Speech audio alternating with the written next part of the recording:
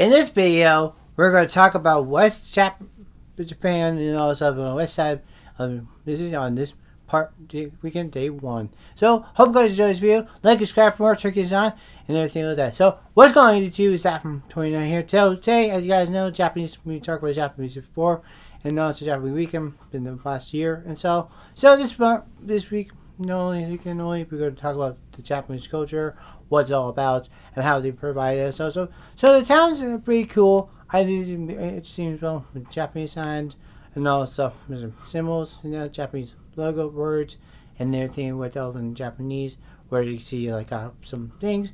But I think it's pretty cool to see more interesting facts about it. Plus, the towns are separate. You can drive around if you want to do some of that, or if there was that. So the next thing you want to know is where how much rent costs. It's like like a thousand yen, like hundred thousand yen, I think. But I think it's pretty sure. One thing like I like about the most is like more Japanese. You know, where you go see like skyscrapers Whereas you see like um, towns that light up or the or see on the night to determine that because this month is a the festival, the winter festival in Japan, Japanese ice sculptures and everything for sure.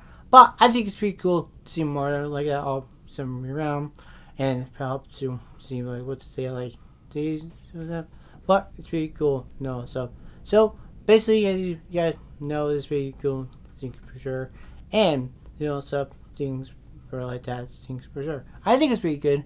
Um, thanks to Japanese, like saying like west Japanese would be like western side, or feel like them with your mountains and all that stuff, and that could awesome things. But I think it's pretty cool. So thank you much for watching this video. Hope you guys enjoy. Subscribe today, turkey's on, and I'll see you guys tomorrow, Salmon Sunday. Yeah. No, so take care. Subscribe today for Japanese weekend day two. And always, it's awesome. Be safe.